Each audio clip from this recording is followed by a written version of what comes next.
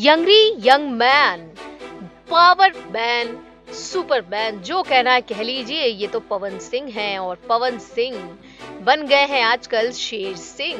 Bhojpuri cinema की मशहूर गायक और action hero superstar Pawan Singh की जो फ़िल्म है, बहुप्रतीक्षित शेर सिंह रिलीज़ हो चुकी है और रिलीज़ होने के बाद बॉक्स ऑफ़िस पर गर्मी बढ़ा रही है। टेम्परेचर बहुत ही ज़्यादा हॉट हो चुका है। सिनेमाघरों में इस फ़िल्म को देखने वाले दर्शकों में गजब का उत्साह देखने को मिल रहा है।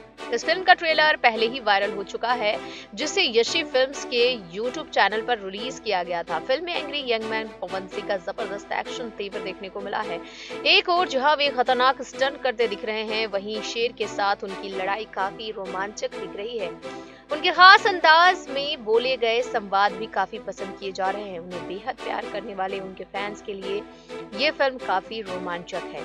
सबसे खास बात इस फ़िल्म में ये भी है कि पहली बार पवन सिंह के साथ बतौर नायिका यूट्यूब क्वीन आम्रपाली दुबे पूरी फ़िल्म में खूब धमाल मचा रही हैं। उनकी ये रोमांटिक जोड़ी दर्शकों को खूब लुभा रही है।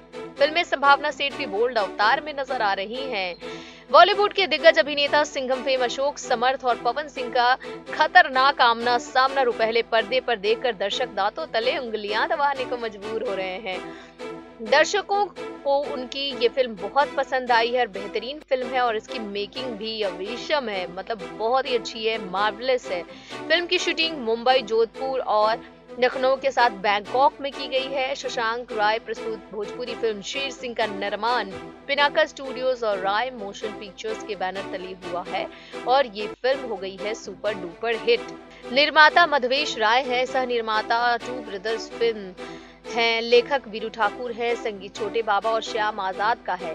गीत लिखा है मनोज मतलबी ने, श्याम देहाती, आज़ाद सिंह, सुमित चंद्रवंशी, विनय निर्मल, धर्म हिंदुस्तानी है। गायक पवन सिंह है और प्रियंका सिंह और अलका झा है। छायांकन शत्रुघ्न सुधांशु, हेमंत जायसवाल ने किया है। मारधार एस मल्लेश और ईपी राजवीर यादव है।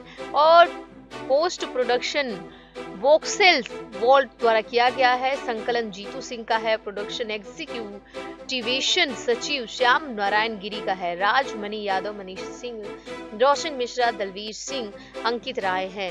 कॉस्ट्यूम कविता सुनीता सलील कांत का है। फ़िल्म में पवन सिंह और आम्रपाली दुबे के अलावा अशोक समर्थ, आयुषी तिवारी, ब्रिजेश त्रिपाठी, संजय वर्मा हैं और तमाम जितने भी स्टार कास्ट हैं, सब इसमें मुख्य भूमिका निभा रहे हैं। इसके अलावा संभावना सेठ भी नज़र आ रही हैं। जादू बिखेरती हुई।